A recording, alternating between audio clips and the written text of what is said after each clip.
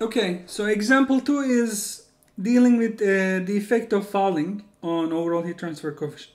As we mentioned in many industrial processes and practices, the fouling is unavoidable. So we need to think about how to how, how to incorporate these effects in our calculations.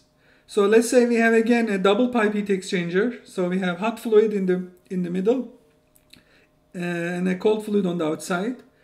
So let's say this pipe is made from stainless steel. Thermal conductivity is given. So inner diameter is given. Outer diameter is given. So you know the thickness of the pipe, steel pipe. So we are also told the convectivity transfer coefficient for the inside, which is 800. For the outside, we have 1200. And we have the fouling factor for inside and outside. Okay? So first question is, to calculate the thermal resistance of the heat exchanger per unit length, thermal resistance, which is the inverse of uh, 1 over U. And then second, calculate U inner and U outer based on inner and outer surface area. Again, this is just an algebraic example, so because we already have HI and H outer given, so it is not going to be a lengthy example. So, so this is uh, so the effect of effect of fouling on U overall heat transfer coefficient. Okay, so that's the that's the idea. So, so all the properties are given and let's assume everything is constant. So our goal is in part A, in part A, find the overall resistance, which is, I'm going to just show you the equation because we already have this equation. I'm just going to uh, copy it here. So this is the equation here. Our first goal is to find uh, our resistance. So that means I have to simply input all the values here. So A inner is pi D inner times L. And A outer is pi times the, the outer times L. So we don't know L, but it is we are asked to find it per unit length. Let's say assume whenever you are asked to find something in per unit length just assume it is one meter.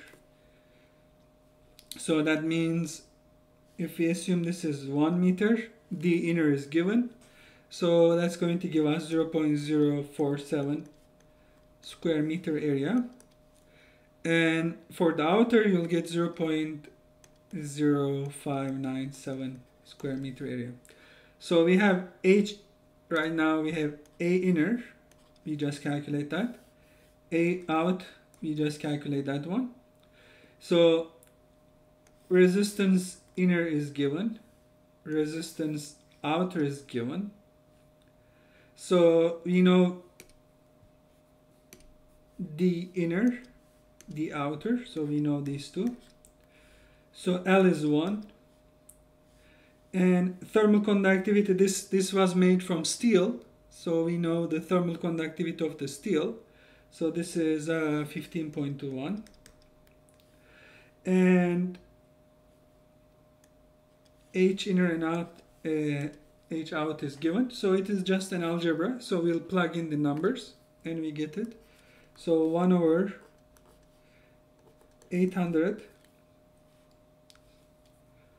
watt meter square per Celsius times 0.047 meter square plus 0.004 meter square Celsius per watt divided by 0.047 meter square plus log 0.019 this is outer diameter 0.051 this is the 5 inner diameter 2 pi, K is 15.1 watt meter per Celsius and length is 1 meter. So we have two terms, so we need to have uh, two more terms here. So we have 0.001 this is the resistance for the outer section. And divided by the outer surface area 0.591 meter square. This is meter square per celsius so meter square celsius per watt. And then finally so we have uh, the final uh, resistance which is 1 over h out h out is 1200 watt meters uh, meter square celsius times outer surface area 0.597 meter square. So now if you do the, all the math here so you'll get our total. So our total is going to be 0.0532 per celsius per watt okay so that is part A. Part B is asking us to find u in and u out.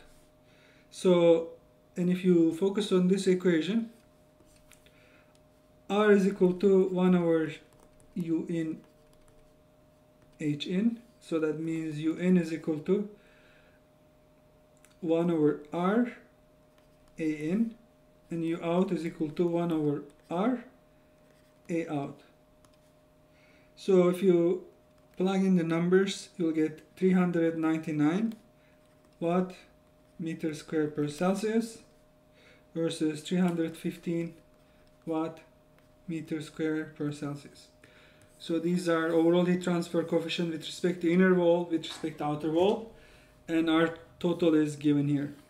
Okay, so this is a simple example to show the utility of this equation shown in, in here.